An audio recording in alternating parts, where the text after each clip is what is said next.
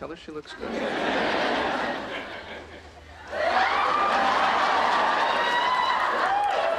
Oh my God! you look so good! Cannot believe I have to walk down the aisle in front of 200 people looking like something you drink when you're nauseous. So don't. I don't see why we have to go to this thing anyway. It's your, your ex-fiance's wedding. Because I promised Mindy I would. Yeah, well, you promised Barry you'd marry him. Look, you guys, I have to go. I'm the maid of honor. And besides, you know what? I just need to be in a room again with these people and feel good about myself.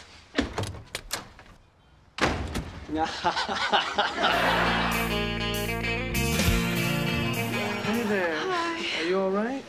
Yeah, but when I was in the bathroom, I saw the window that I crawled out of at my wedding, and God, I just started thinking I shouldn't be here. You know, I shouldn't. People are going to be looking at me and judging me and, and thinking about the last time. Sweetie, it's going to be okay, all right? It's a wedding. Generally, people focus on the bride.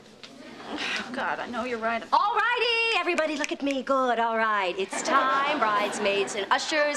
Let's say two lines, thank you. Okay, I'll see you after the thing. Okay, good luck. Thank you. Mwah. Okay. Okay. Okay. Ah. Was I supposed to do? Stand up and shout, hey, Rachel, your butt is showing. Oh my God, this is so humiliating. I think the only thing that tops that one was was was when I was in eighth grade and I had to sing the Copacabana in front of the entire school. I think I got two lines into it before I ran and freaked out. Oh my God, my entire life's flashing before my eyes. Rach, hey, look, I oh. remember that. It wasn't so bad. Oh, Ross, would you stop? You got me. I'm dating you. Rachel, Oh, hi, Mr. Weinberg. Hi, Mrs. Weinberg. it's so wonderful to see you again, my dear. Oh. In fact, I hardly expected to see so much.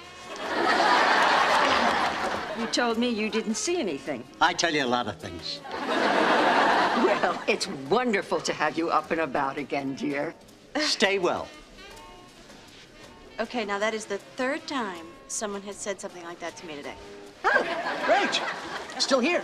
At our wedding, they were packing up the chopped liver about now. Oh, yeah, I love that story. um, I have a question for you guys. Why do people keep saying it's good to see me up and about?